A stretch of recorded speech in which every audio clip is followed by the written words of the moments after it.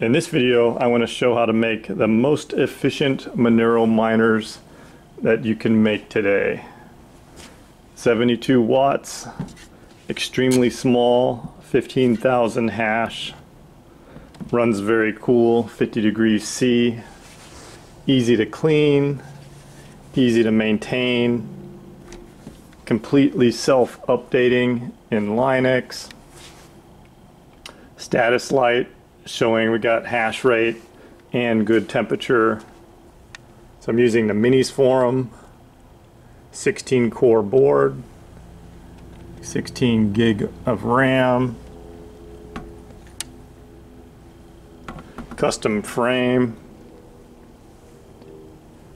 600 watt power supply, only using 72 watts. Also very easy to clean with an air compressor and modular. You can hang them up on the wall. These are headless miners. There's no need to have a screen on it because you can remote in.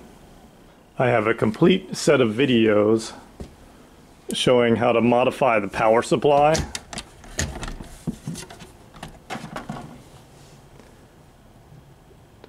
with the extra wires removed that are not needed. I have a video showing how to make the frame using basic hand tools. I have a video showing how to test the motherboard. I have another video showing how to do all the Linux software, including all the source code for the scripts. Everything you need, start to finish, you could build as many of these as you want. Income is not a lot on this. This is more for people that love doing it, but these are the lowest price miners you can possibly build. This entire miner is about $700 in parts. And it uses 50% less electricity than the Bitmain X15s, which you can't even get.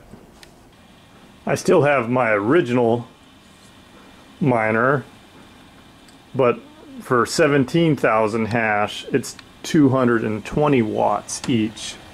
And this has been running for five years. It has to get a yearly cleaning with an air compressor using dry air. I've converted three of them over to Linux. But these cost $2,000 each.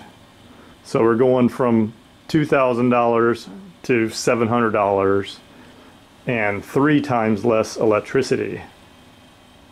Also, notice how quiet these are. Can't even hear them.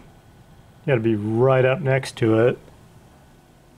The fans will ramp up to 2000 RPM if they ever get to 70 degrees C, which when it starts clogging up, you'll be able to tell the LED is going to turn red, but the fans will start ramping up more power.